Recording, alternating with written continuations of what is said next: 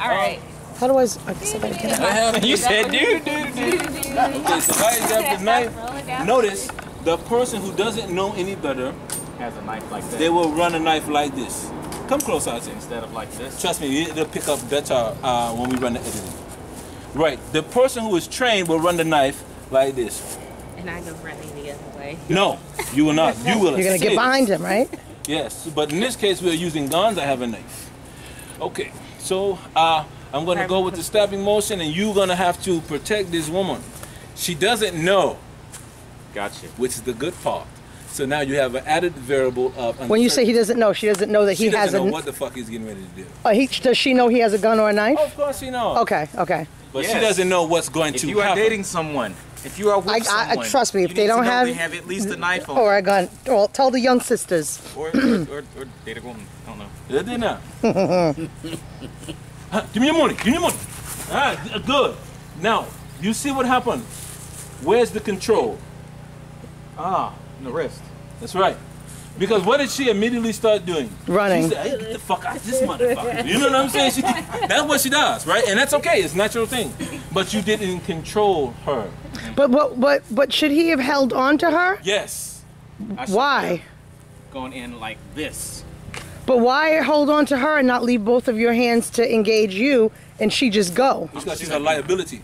She becomes a liability. Mm-hmm.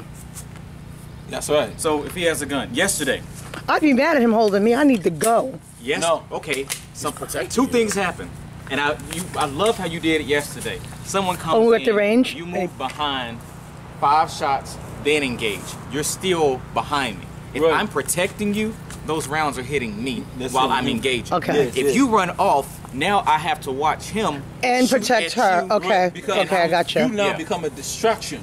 You are yet another environmental deviation. That's what you have just become. So now, I'm pissed. Now I ain't getting my fucking money. Now I'm gonna start shooting that way. What happens when I shoot that way? Well, there's something that lies beyond that. Other people, dogs, cats, cars. Shit gets fucked up, right?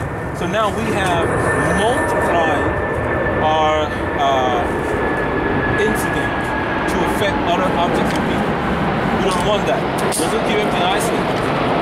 Okay, so we will go again.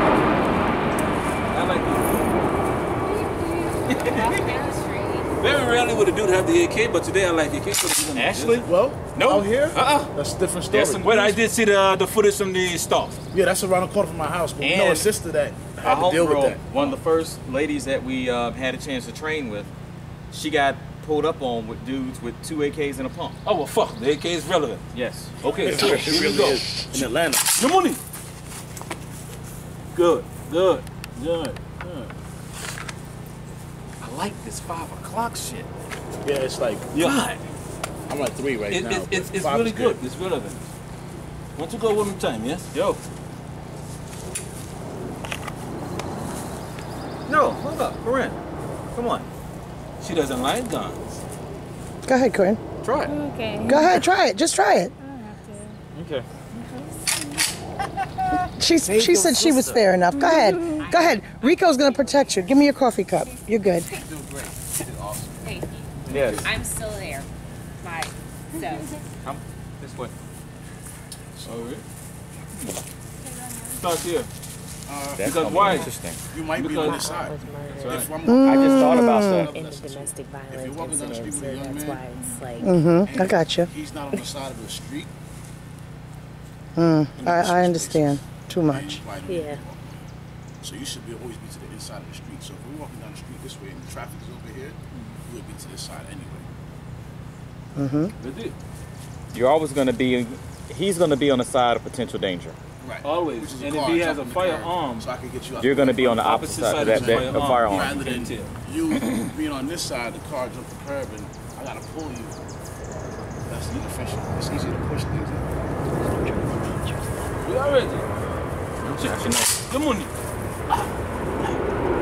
You see how things break down though? Yeah. You See what I'm saying? like, yeah. It breaks down.